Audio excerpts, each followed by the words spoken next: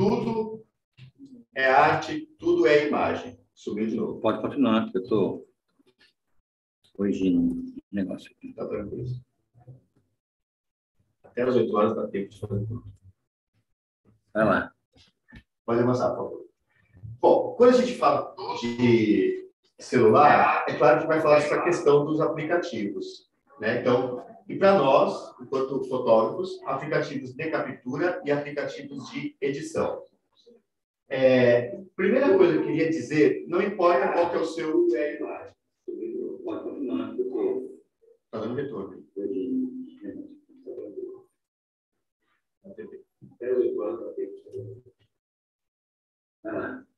Peraí, abaixa o volume da TV. Bom, quando a gente celular, é claro que vai falar sobre a questão dos aplicativos.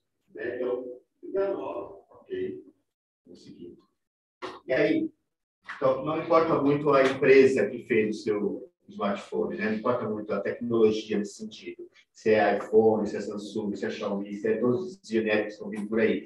A Índia tem uma, uma coisa bem interessante que está vindo por aí também, muito bom, até com muita, muitos megapixels. Mas, ah, o que, que a gente costuma dizer? Que valorize sempre e, acima de tudo, primeira coisa, a própria câmera nativa. Antes de eu ter o aplicativo, é, eu também vou usar a câmera que tem no meu celular. Ela já vai fazer muita coisa, porque já tem engenharia ali em cima dela, né? tanto para captura quanto para edição. Da mesma forma, a gente costuma indicar alguns aplicativos. Só pode avançar um, por favor? Esse aqui a gente vai ter tanto para iPhone quanto para Android.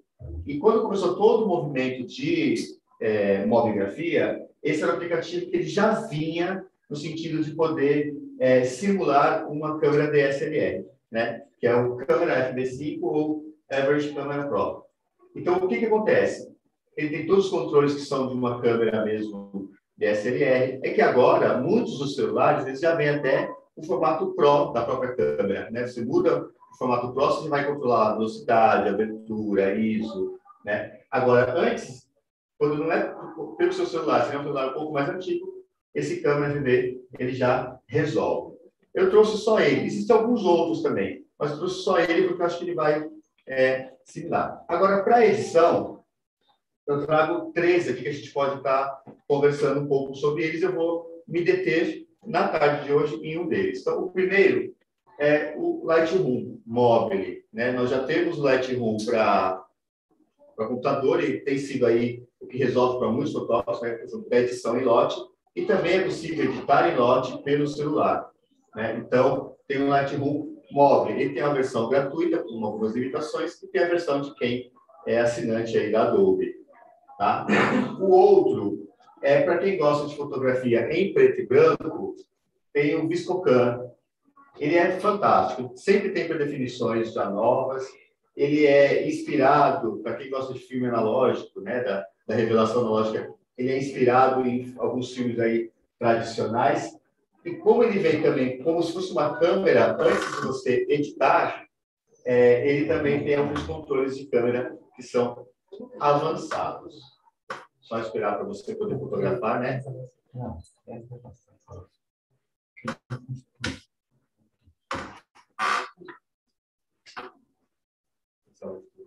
Quer que volta? Lá no desculpa para fotografar.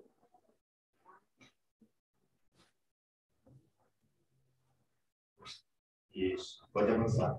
E o que tem sido muito popular hoje, no sentido assim, de ser muito rápido e intuitivo, onde nós vamos nos deter na fala essa tarde, é o Snapseed. Então, o Snapseed ele foi comprado pela Google, né? ele, é um, ele é um aplicativo da Google, e ele é muito completo. Ele é completo nas edições, né, que são muito mais intuitivas, e como ele é completo também em filtros, que já tem, que ele vai chamar de aparências. Então, e hoje à tarde, né, nessa nossa, nesse nosso bate-papo, nós vamos estudar um pouquinho dele, vamos nos deter um pouco dele. E ele é um aplicativo fantástico aí. Depois, pode avançar, por favor? É, quando a gente pensa em edição, né, eu tenho uma amiga que fala assim, olha, quando eu faço fotografia, eu nunca penso depois na edição. Eu quero que a foto já chega para a minha câmera pronta, já chega é, entregue. Mas é legal, então, esse turismo é uma, uma discussão que nós temos dentro do, da comunidade fotográfica, né? esse purismo da, da edição. Agora, é legal também que o que nossos olhos veem, às vezes não é a câmera captura, por mais que eu faça toda a regulagem ali. Então, é legal gente levar em conta, na edição, não só a questão da alteração, né? não alterar nada, mas pensar no brilho, na exposição, no contraste, pensar na saturação de cor, no temperamento, no, na temperatura, sombras e corte. E aí, que é legal quando a gente pensa na fotografia do celular? Quando o Instagram começou a popularizar muito, talvez quando a gente acompanhava uma conta ou outra do Instagram, já via assim, nossa, aqui já tem esse filtro, eu já conheço. Né? A gente já conhecia até as edições que já tinha. E hoje você consegue também fazer uma edição e ter uma assinatura própria. Né? Mas é legal sempre você evitar, né? esses efeitos são um pouco mais artificiais. Então, uma saturação muito exagerada, né? ou um HDR mais exagerado também. Então, usar de maneira um pouco mais moderada. O que é legal na edição a gente criar uma própria identidade. Isso não é só para fotografia de celular. Também é para o meu trabalho. Quando você bate o olho numa foto, nós estamos com uma exposição linda aqui. Então, possivelmente, quando a gente bate o olho numa foto, assim, ah, já sei que essa foto é de fulano, que já conhece até o jeito de fotografar. Aconteceu isso hoje aqui. Aconteceu? Foi. A Renata chegou e falou que aquela foto é do Classes. Ah, então, foi isso. Por conta de uma identidade. Né? Legal. E depois eu vou trazer algumas dicas que eu acho que são indispensáveis para a gente. Primeiro, hoje, por conta de nuvem, de tudo, é sempre legal você deixar a resolução já da sua imagem em alta. Deixa lá, o celular já está com bastante, até com bastante espaço para isso. Né? Depois, tentar usar a luz natural. O flash, até com a câmera que a gente faz com câmera é, digital, a gente tenta evitar um pouco o flash, ou o flash vai compensar ali uma solução outra, hoje tem que ter domínio do flash. O flash do celular, ele acaba criando uma luz muito, muito, muito artificial. Então, é legal você tentar evitar o flash e usar o que você tem de melhor ali, estudar melhor no seu ambiente.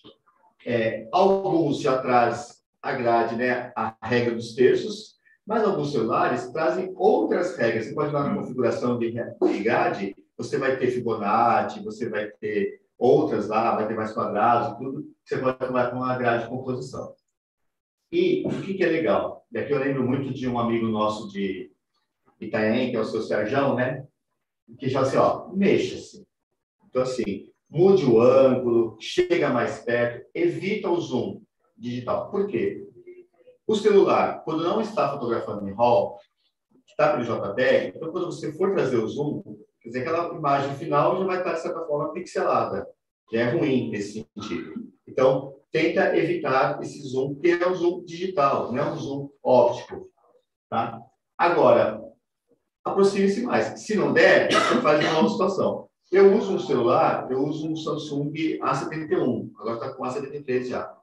Mas o, esse daqui tem um modo que é de interpolação de imagens. Então, você na hora que for fazer a foto, ele não permite que eu faça o zoom.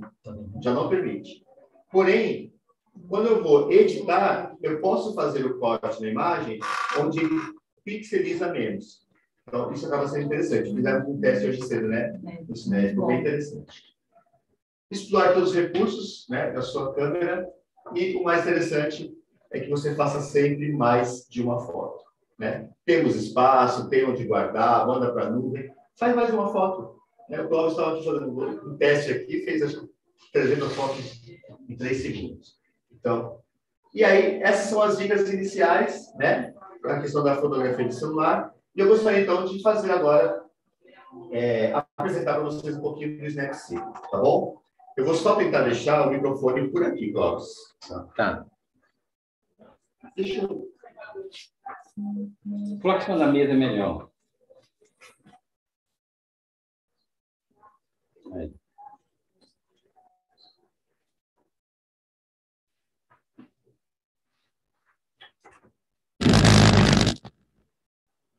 Olha aqui.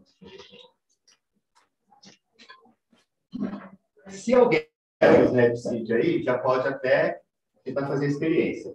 Primeira coisa, assim, existem duas formas de nós podermos... Deixa eu ver se eu estou conectado.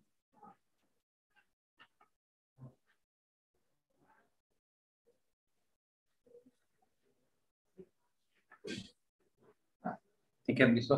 Ah, não. Sim, estou.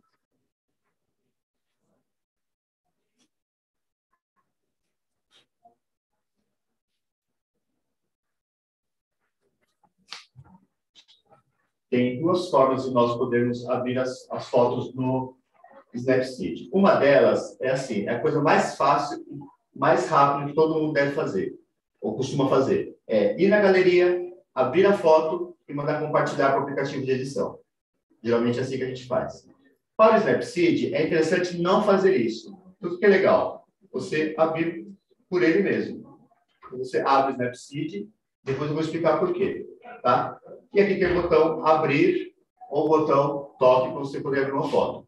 Por quê? Aqui ele vai abrir a foto no tamanho real que ela é. Então, se eu fiz uma foto no meu celular já no tamanho máximo, como eu falei, já vai abrir no tamanho real que ela é. E depois, na hora de exportar, ele vai exportar com mais qualidade. Exceção quando a gente manda exportar para o Lightroom. Né? Lightroom não, para o WhatsApp. Né? Que ele já, já faz uma compressão natural. Quando não é assim, ele exporta para onde você mandar salvar. Tá? Então, vou pedir para abrir aqui. Eu vou abrir essa daqui, que nós fizemos ontem em Maresias. E essa é uma foto que nós temos lá, basicamente. Primeira coisa que nós vamos entender é a navegação. Então, assim, se eu pegar o meu dedo e ampliar como zoom, eu tenho as áreas. Eu posso estar trabalhando. Aqui é aquilo que eu falava, ó, o celular aqui está, acho que por causa da rede está ruim. Bom, enfim. É, depois, aqui embaixo, nós temos uma galeria de filtros já prontos. Isso aqui já vem com o próprio aplicativo. E se você perceber aqui, eu tenho aqui ó, algumas outras galerias lá que estão com nomes próprios. ABC Clique, que foi um curso que eu dei lá. Gazeta, que é uma feira que cuida de uma horta lá na, no Bom Retiro. Eu fiz uma edição só com fotos dela. E outras que nós tínhamos aqui. Então, eu fui e fiz aqui um preto e branco de Paraty. Bom, isso aqui depois eu vou explicar melhor. Mas a gente pode já recorrer aos os filtros que já existem ou os filtros que eu já criei. Então, aqui é a base de filtros. Posso clicar em qualquer um, clica lá e vai mudando um pouco. Básico, já está pronto para poder salvar ou não. Outra coisa, então, é conhecer o menu de ferramentas que ele tem. E aí, quando eu tenho a minha foto e eu clico no menu de ferramentas, eu tenho toda essa gama de possibilidades que nós vemos aqui na tela. Né? Então, aqui eu vou, não vou, Clóvis, passar por todos, tá? Vou passar por alguns que possam ter uma, um trabalho um pouco melhor, até por conta do nosso tempo. Então, a primeira coisa que nós temos aqui são os ajustes básicos que eu falo da edição. Então, em ajustar a imagem, como que eu vou descobrir quais são os meus ajustes? Eu clico na tela e subo ou desço. E aí ele vai chegar no menu que eu quero. Ah, quero brilho. Tá zero. Cliquei lá, aí vem para lateral. Mais brilho, menos brilho. Você está em ferramentas. Foi ferramentas, acho que não foi aqui. Contraste. Saiu, será? Ah, tá, tá ainda aos poucos. Então, vou mostrar de novo. Olha só. Ferramenta, ajustar imagem. Segurei o dedo, fui para alto, para cima e para baixo, eu tenho meu menu aí.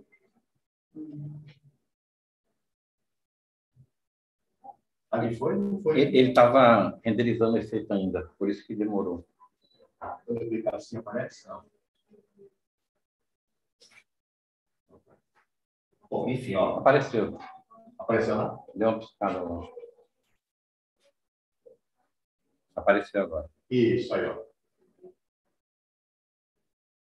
Ok. Então, aqui eu vou ter todos que eu posso trabalhar. Então, sombras, por exemplo. Mais sombras, menos sombras. Mas eu solto aqui e só. Você tem que segurar. Você segura, É. sobe. Quando ele sobe, é porque você já fez a seleção. Por exemplo, agora, vou pegar aqui, atmosfera. Hum. Ele está zero. Tem que ir segurando. Aí eu sol... quando eu solto, olha lá, atmosfera, tá vendo? Sol- Soltei, soltou. É. Aí vem para o lado, ou para o outro lado. Se você reparar, aqui em cima, olha só. Aqui você está falando. Ah, Olha. ser mais ou menos. Isso. É o lá em cima, então, que é o controlador. Só para motivos didáticos, eu vou sempre exagerar aqui nas edições, tá bom? Só para a gente poder entender o que ele faz. Coloca um microfone cima, fica melhor. Vou puxar um pouco. Pode colocar. Aí em cima, aí em cima mesmo. É que aqui cai ainda. Tá bom. Melhorou? Beleza. Ok. Quando eu já fiz esses, esses ajustes básicos que eu gostei, o que, que eu faço? Eu clico na, meu desenho aqui. Tá?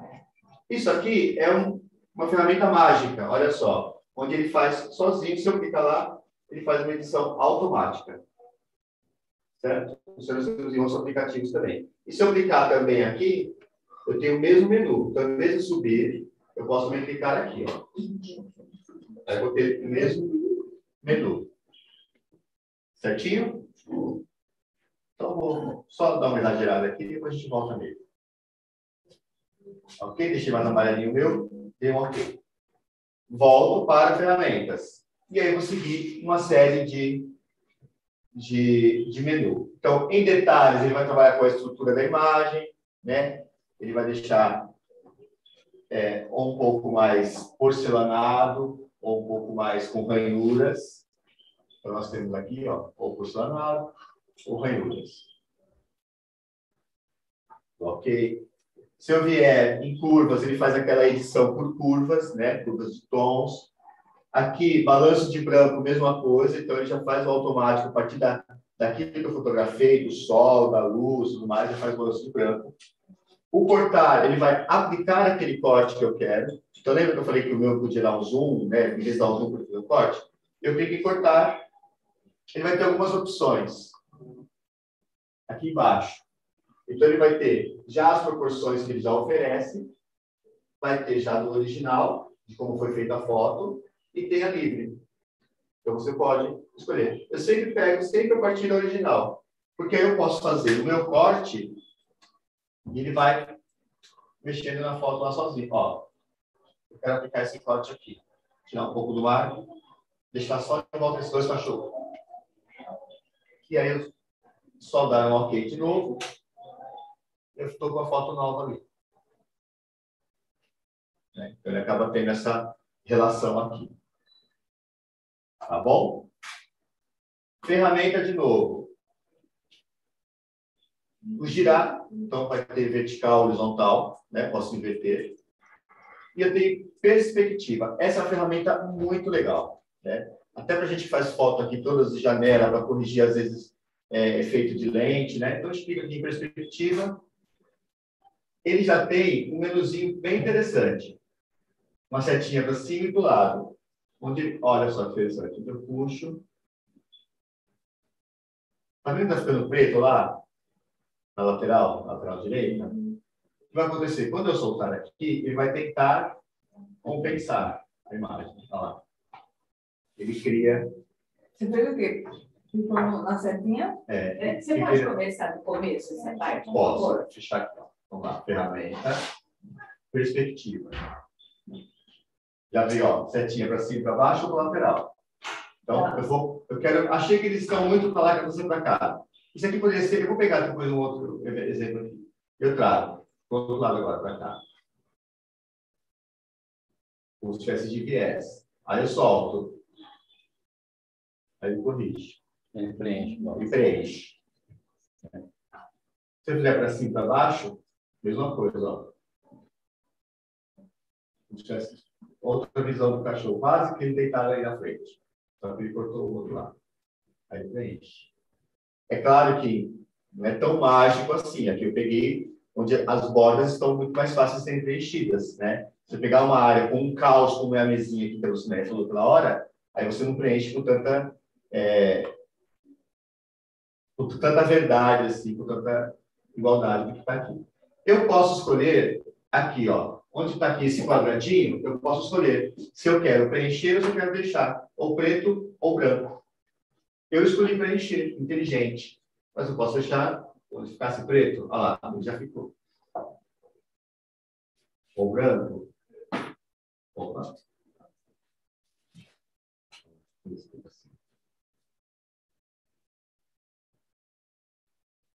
Ou branco, ou inteligente. Aí, ó, agora já errou a inteligência dele, não. Tá vendo?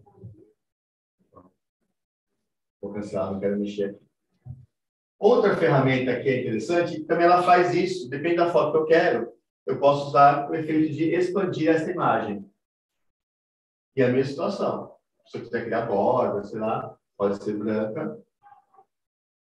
E aí eu posso ampliar a área. Mais naturalzinho assim. Vou tirar uma foto um pouquinho maior.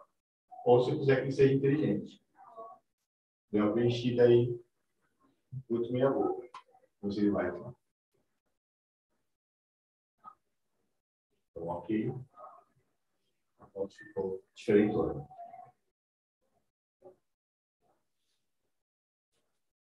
Outras coisas que eu posso fazer agora na edição é a partir da ferramenta seletivo, onde ele faz a seleção por cor, por proximidade de cor. Então, eu cliquei no seletivo, eu quero, de repente, mudar alguma coisa que é do mar. Então, eu venho com o dedo sobre ele e achei lá o que eu quero. Que você acha? Demorou. Olha lá. Foi com o dedo, selecionei. Ele vai criar uma máscara. E tira com o dedo lá a máscara. O que ele pegou. Ok, quero pegar só aquele azulão lá. O que, que eu faço? Menuzinho para cima e para baixo. Brilho. Ah, quero escurecer esse mar aí. Ou quero clarear. Ele aparece sozinho, você põe para cima ou para baixo. Tá? Ou contraste, mesma coisa. Deixa o contraste aqui, ó. Ponto feio, então, o negócio. Aqui tem uma coisa bem interessante, vou mostrar daqui a pouquinho. Ou estrutura ou saturação. Muito saturação exagerada. Puxa, gostei, ficou legal isso. O que, que eu faço? Eu posso copiar esse efeito? Posso copiar. Olha que interessante. Clico sobre a bolinha, nesse caso da saturação, clico sobre ela. Aí eu tenho algumas ferramentas. Recortar, copiar, descartar. Então, vou clicar aqui em copiar. Olha que interessante. Cliquei em copiar. Aí eu venho de novo para o meu menu e clico em outra área. Quando eu clicar, vou colar. E aí eu cliquei nos dois. Deu para? Assim? Ok. Esse aqui é interessante no seletivo, tá? Bom, eu não gostei de como ficou. Aí eu fiz uma edição aqui e ficou manhaca. Eu vou aqui em cima das minhas camadas e eu posso voltar. Ah, então fiz besteira.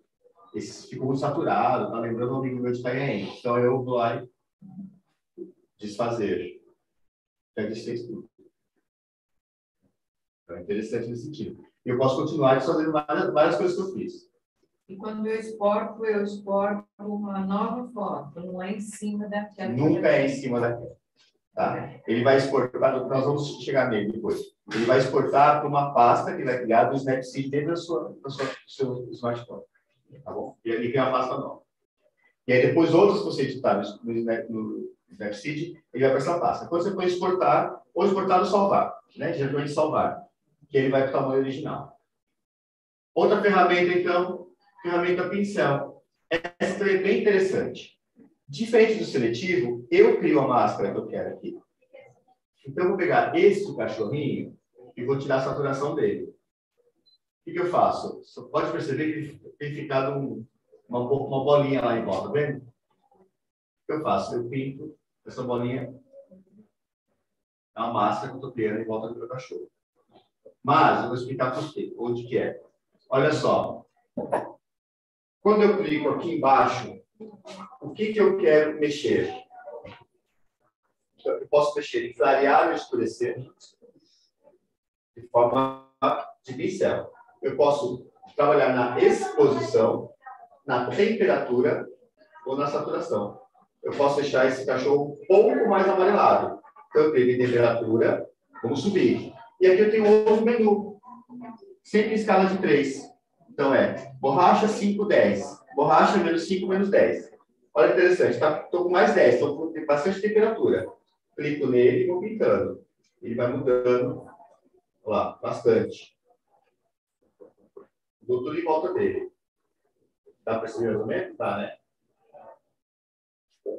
Amarelão. Ficou bem caramelo. Quem gosta de fotografar cachorro caramelo. Agora, puxa, não gostei. Ou vou tirar de uma parte. Desço aqui na setinha para a borracha. E ele vai para a borracha na área que eu quiser. Eu quero tirar do rosto dele. Na verdade, eu quero tirar a saturação do rosto dele. Vou tirar mais ainda. Desço mais. Menos 5, menos 10. Só no rosto. Vai ficar quase cinza escuro. Olha lá, em volta. Olha que exagerado ficou. Na verdade, mais 10 aquece a imagem, a área que eu quero. Menos 10 esfria um pouco mais, condição mais azulado. Tá? Diminuo, opa, diminuo a imagem. Olha como é que ficou. Olha aí. Certo? E aqui eu tenho para outras áreas também. Saturação, temperatura, exposição para área fechada. Vou fechar e vou deixar como está. Outra ferramenta é a correção. E é o famoso band-aid que nós temos aí do Photoshop, de outros aplicativos. Que é muito simples, como se fosse remover algo da minha cena. Então eu quero remover esse cachorro que estou mexendo mesmo. Quero deixar só o cachorro lá mais preguiça. O que, é eu faço? Selecionei a ferramenta correção e eu clico na área que eu quero remover. Olha só. Cliquei no cachorro todo. E deu. Tirou da cena. Ó. Tchau. Prontinho. Interessante, né? É. Aqui tem uma coisa legal, ó. Aqui eu tenho. Opa. Aqui eu tenho duas placas que não estão me interessando muito. Então eu faço o que você pode fazer também para não é, interferir muito na imagem, né? Você pode ir clicando só com o dedinho assim, ó, e vai deixando mais ou menos como era. Aí, Aqui essa imagem. E aqui eu clico e vou diminuir ela. Pronto, sou com um cachorro só na minha cena. Legal, né? Vou deixar. Ok, já vai o outro, vai embora. É claro que ficou tão perfeito, mas a título a gente poder depois elaborar mais. Outra ferramenta que nós temos é o HDR, que trabalha com altas luzes, baixas luzes, né? Esse brilho de glamour que está aqui, eu vou mostrar depois quando a gente for trabalhar com retrato, tá? Porque o Snapseed é um aplicativo fantástico para quem trabalha com retratos. Então, que você fica aquela sua foto, né? Sim, inclusive quero fazer uma observação, para quem tem uma espinha assim, no meio da testa, uma coisa, essa ferramenta é muito boa, Essa né? ferramenta, isso aí mesmo. É o tira-manchas do... Olheira também dá para fazer, né? Olheira, aí vai- bom, né? Dá, talvez. Tá. Tá? Contraste de tons também para edição. Drama também para você né, mexer mais, mais na atmosfera. E aqui você vai ter alguns efeitos é, de edição, para você criar filtros, né? Como é uma foto vintage, é, um granulado, você colocar um flare, né? efeitos de grunge como se fossem máscaras, trabalhar com preto e branco, olha lá, já vem com alguns com algumas pré-definições aqui de preto e branco. Então, ó, você já vai mexendo nele direto. Sempre, ah, uma coisa que é interessante, ah, então aqui, eu escolhi esse aqui, mais escuro. Se eu subir, eu vou também continuar mexendo e dando a minha interferência nesse filtro. Embora o filtro esteja pronto, eu posso também interferir sobre ele. Isso é muito incrível no, no Snapseed. Ah, contraste, olha lá. Posso diminuir. E granulação também para dar ideia mais de filme, né? Porque aqui a gente não vai conseguir ver que eu estou tudo granulado mesmo. Ok. Depois, efeitos de cinema. E agora nós vamos para retrato. Antes de retrato, eu quero fazer. Eu vou abrir outra foto, tá bom? Então, deixa só eu abrir, descartar essa. Marcos, Marcos. 15 minutos. Tá bom. Deixa eu só abrir uma outra foto.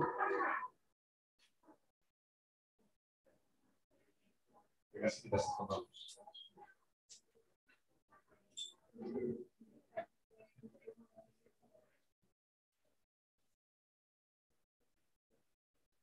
Ok. Então vamos lá, ferramenta. Efeito foco. Depois eu volto nesse daqui, tá? Que eu vou falar. Efeito foco. Ele é o famoso tilt shift, né? Que a gente conhece. Então, você fazer aquele efeito de maquete. Então, conforme você traz ele já vai criando a própria maquete. Tá? Dá para ver a imagem, né? Um pouquinho. O que, que eu tenho aqui? Eu posso diminuir minha área que eu quero fazer. Olha lá. Tá? Gente até conversava ontem sobre isso. Eu quero fazer aqui para esse trem. E se eu subir também o meu menu, eu vou ter o grau de desfoque, ó, aumenta mais ou diminui. Eu vou deixar exagerado, porque sempre é só o nível didático mesmo. E também eu vou ter o efeito de transição. Ó. Posso aumentar aqui a transição do meu foco.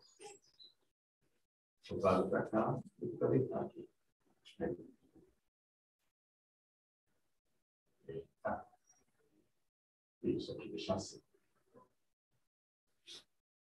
Mas também eu posso escolher ele sendo retangular ou circular. Escolho aqui embaixo, tá? O formato que eu quero. E dou um OK. Uma foto. Ah, tem uma coisa bem interessante. E muitos aplicativos hoje já fazem isso. Puxa, como que era a minha foto? Vai posicionar totalmente zoada, né? Só clicar sobre ela. Cliquei, ele mostra como era e mostra como está.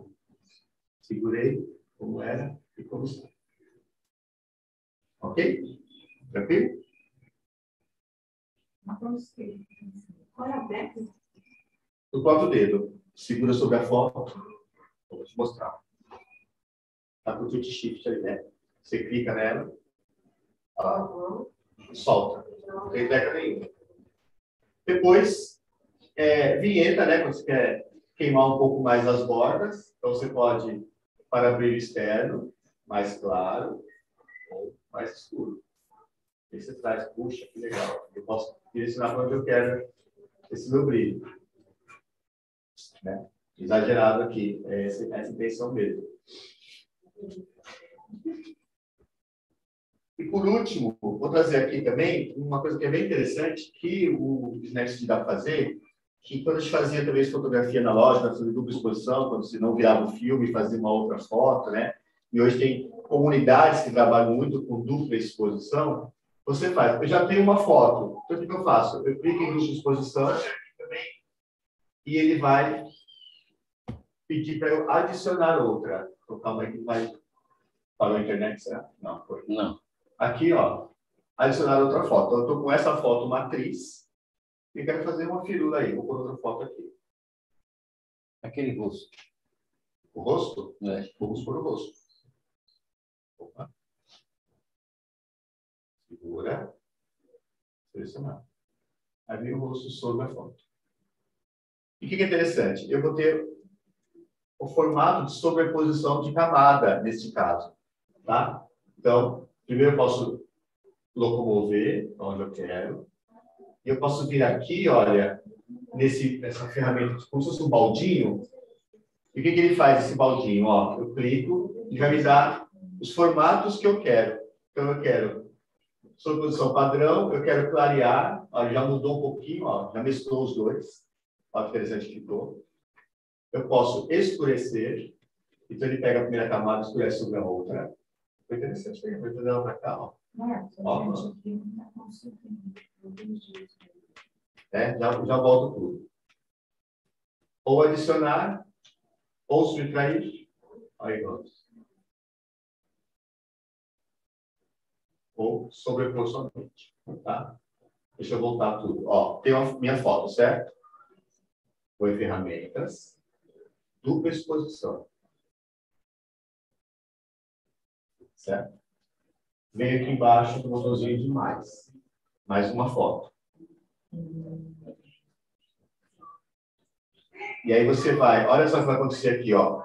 Eu vou segurar na foto que eu quero, vai aparecer o selecionado aqui em cima. Então, ó, segurei na foto, selecionar lá em cima. Segurei a foto, selecionar. E aí vai. Você pode fazer isso seletivamente? Me passar o rosto dela, deixar fundo. Se a foto já fosse trabalhada antes, nesse caso não, você está pondo uma foto sobre a outra. Mas não tem nenhuma, tipo Photoshop, né? Que você apaga. Não. Nesse caso, não. Nesse caso, você pode trabalhar. Desculpa. Nesse caso, você pode trabalhar com. Imagem.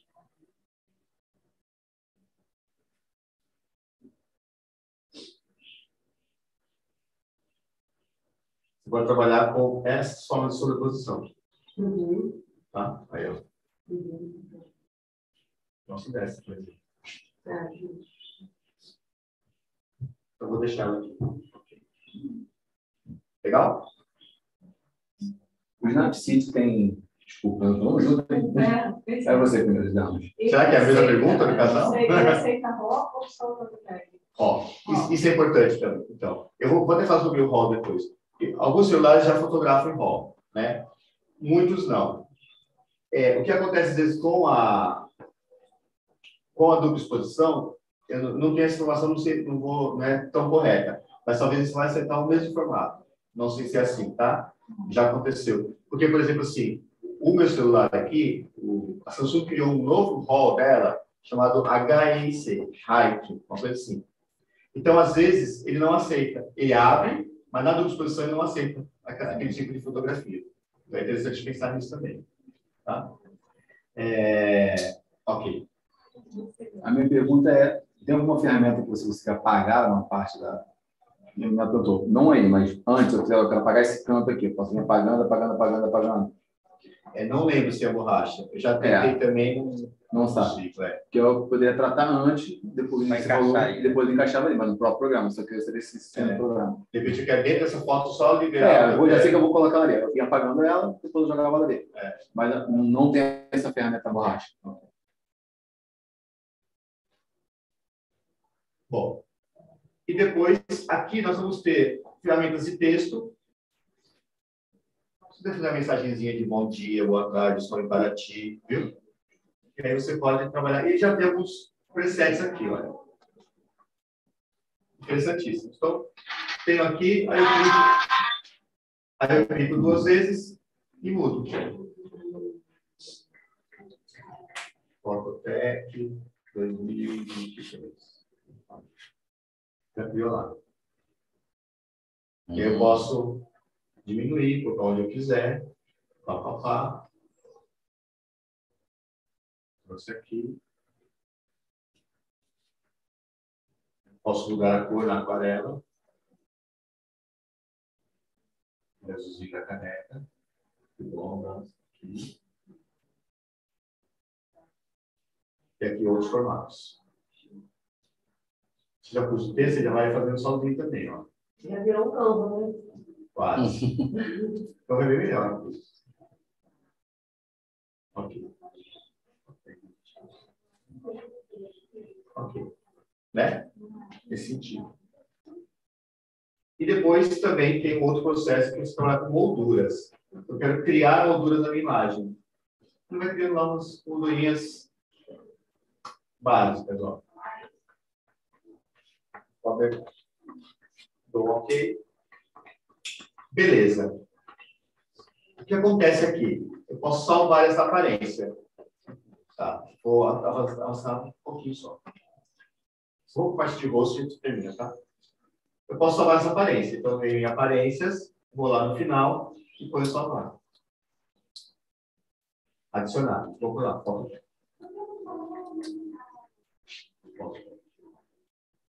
Salvar. Ok, tá salvo. Tá?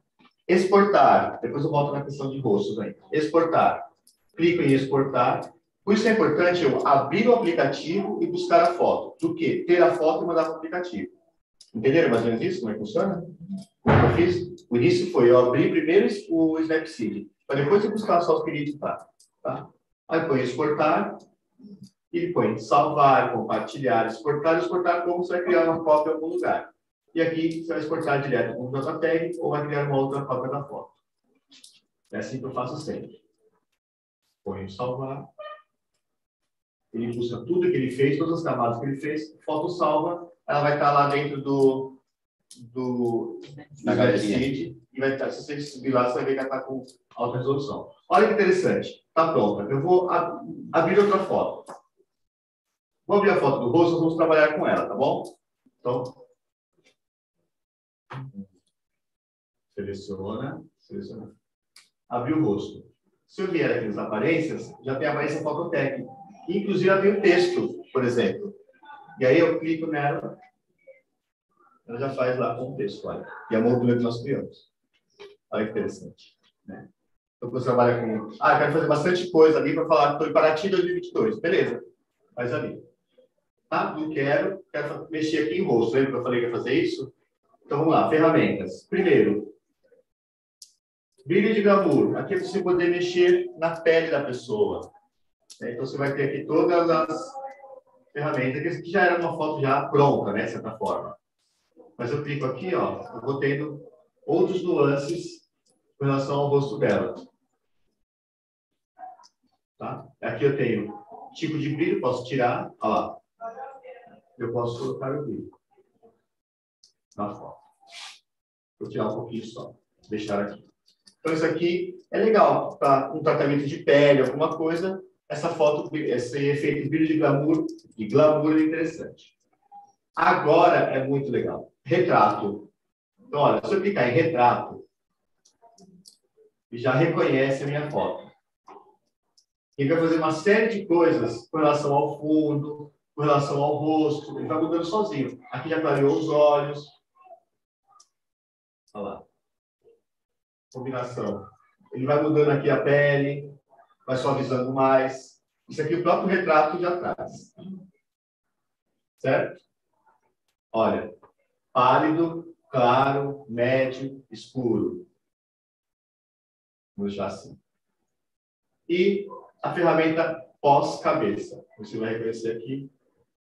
Posição da cabeça. Olha o que ele faz. Para lá. Mudou aí para vocês? Não. Não. Mudou. Deslocou o rosto para direita. É. Ou para cá. Ah lá. É, agora eu vi. Ou para cima. Com textura. Dá medo disso. Ou para baixo. Olha lá. Por que, Ó, que o Photoshop não faz isso também? Faz, faz. Ficar chato. Tem negócio neural Vamos lá. lançaram agora, uma ferramenta nova. Sorriso. Tamanho das pupilas. Olha aqui. Tamanho das pupilas.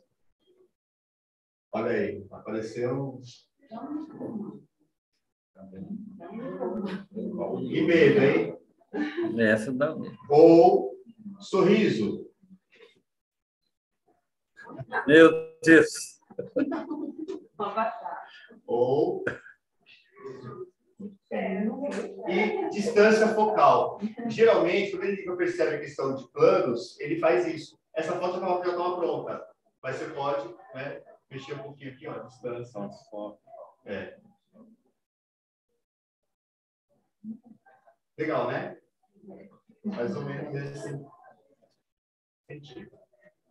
Daqui, tem alguma ferramenta que vocês gostariam de saber mais? Tá tranquilo? Tem descobertas? Lembrando, viu, vai ficar gravado no YouTube, pode consultar. Ah, legal. Ó, vai estar tá, tá no YouTube, né? Lá no Fototec TV. A gente pode acompanhar sempre. O que foi?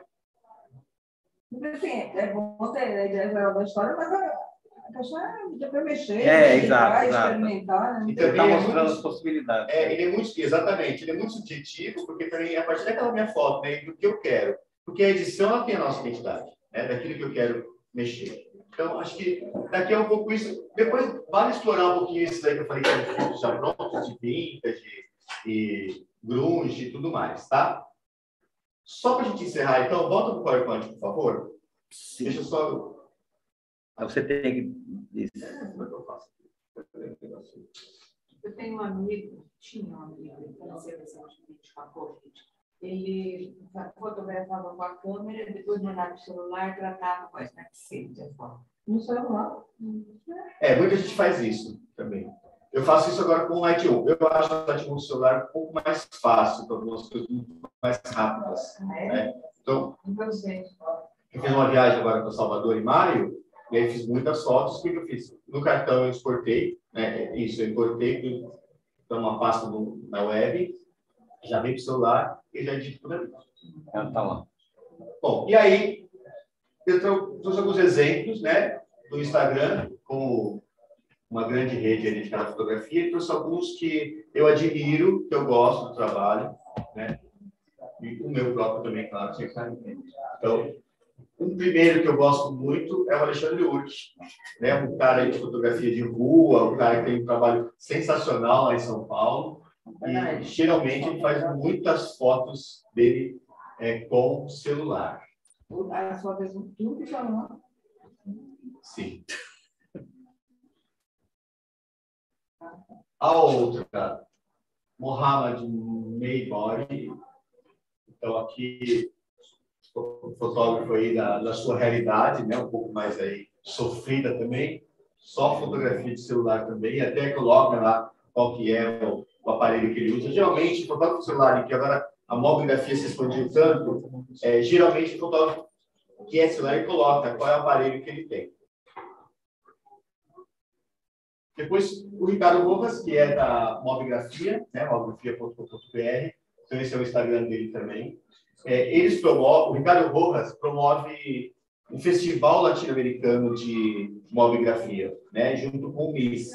E agora ele tem um chamado Mob Inclusivo, uma coisa assim, e que é um processo de educação visual para comunidades carentes poder treinar para, né, para fotografia a partir do celular. Porque o nosso jovem hoje, isso aqui está na mão do jovem, né, de qualquer jovem, qualquer classe social praticamente.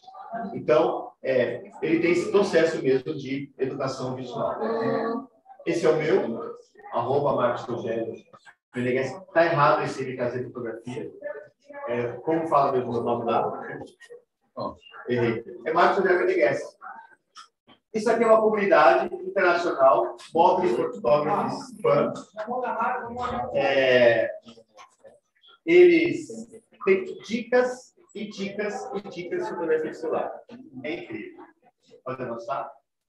Curiosidades. 2005, esse fotógrafo com uma câmera digital na mão, né, sem filme, sem nada, ele viajou à América, Robert Clark, viajou à América pra, com esse celular. E qual que é o objetivo dele? Acho que era para Times, se não me engano, que ele fazia fotos é, diárias e mandava fazer a matéria. E todo o objetivo da Sony, tudo mais, era você que, mesmo a câmerazinha, você tinha conteúdo que você podia produzir. Então, foi uma viagem pela América toda. Essa aqui é sensacional. Em 2017, o pessoal da mobigrafia entregou um celular na mão desses feras. Né? E aí é muito interessante, porque não sei se foi o German, até na época que falou, que já estava com um problema sério ali de mobilidade, então a câmera já era pesada. Então, vir com o celular foi interessante. E cada um fez um ensaio, você lembra disso, né? Eu ia falar do Pedro Abriago, porque não é só pelo smartphone ou Kindle, pela deficiência de mobilidade do texto da câmera e braço. É isso. Então, só, só invertir personagem aí. É, e cada um deles, em 2017, fez um ensaio. Um fez no, é, no camarim de uma academia de balé, outro foi no SEASA, tudo mais. Mas a ideia era a velha guarda que né, passou pelo digital, passou pelo analógico, começou no analógico, passa para o digital, que já é um exercício que tem que fazer de mudança de tecnologia e para depois chegar até o celular. Né? Esse menino é, que está nessa foto, essa foto, quando eu fiz esses slides, esse menino ainda era vivo e todo o objetivo dele era que ele sempre fazia selfies perigosas. Existem estudos, né, que falam que a selfie mata. Então, em penhasco, linha de trem, não sei o que, você está tá fazendo uma selfie e sempre acontece algum acidente. Tá legal prestar atenção. E ele morreu assim? Fazendo selfie? Foi assim que ele morreu? Foi. É isso. E só dizer uma coisa, antes de eu... O Lightroom... Deixa eu... Posso tentar compartilhar uma coisa aqui? Sim, rapidinho. Tá bom. Enquanto ele compartilha, nós fizemos uma ação na fotografia na casa das fotos em São Paulo, e o Maurício Ziliar também estava lá fotografando com os smartphone. Tem que fechar essa. Já fechei. Tá. Nossa, tá ligeiro, hein? Aqui é fora, ele falou da fotógrafa que foi capa, fotografou capa de revista. Não falei. Forbes, eu esqueci o nome dela também, com o celular. Brasileira, né? Fez a capa da revista. Sim, capa de revista. Correr. Não é Eu esqueci o nome dela. Marca. É, então. É rapidinho. Ó, uma dica então. Alguém falava de hall, né? Você falava, né, Renato? Celulares, é, agora, alguns já estão vindo com essa tecnologia de poder é, fotografar em hall. Outros não ainda. Então, uma dica é, se você tem o Lightroom, então aqui eu tenho o Lightroom, ele abre.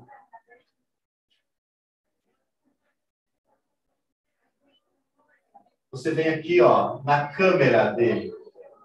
Você clica na câmera. E aqui em cima, você vai perceber, em configurações você pode mudar para JPEG ou para DNG. E aí ele já. Sem câmera, meu. Ele já fotografa, ah, porque está tudo automático. E aí ele vai fotografar. Quando fotografar em DNG, se deixar em DNG, ele já vem com formato cru, com a fotografia crua, que é o negativo digital. Então, o seu celular, mesmo que não fotografe em RAW, o meu fotografa em RAW, por exemplo, mas se você quiser uma fotografia em RAW, que você possa depois mexer em todas as características dela, é, no, é na fotografia em DNG. Fiz uma foto do Felipe ali. Ok. Era isso. Tá? Muito obrigado pela paciência. Obrigado pela. Assim a gente inaugura a nossa semana de palestra da Casa Fototécnica. Obrigado, galera. Muito obrigado. Gente, Obrigado. a gente vai fazer um sorteio pela Elege Corretora. E aí falta o Felipe que vai pegar o nome das pessoas que não deram aqui no contato, né?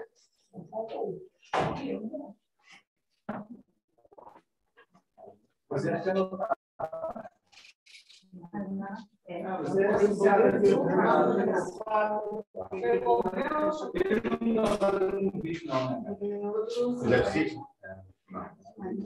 Sabe quem que tem? Eu precisava eu pegar toda a orientação para colocar. eu. Cadê o? Ah, peraí. É. Marcos, E é você podia pegar a mochila dela com o voador lá? Ficou na cozinha?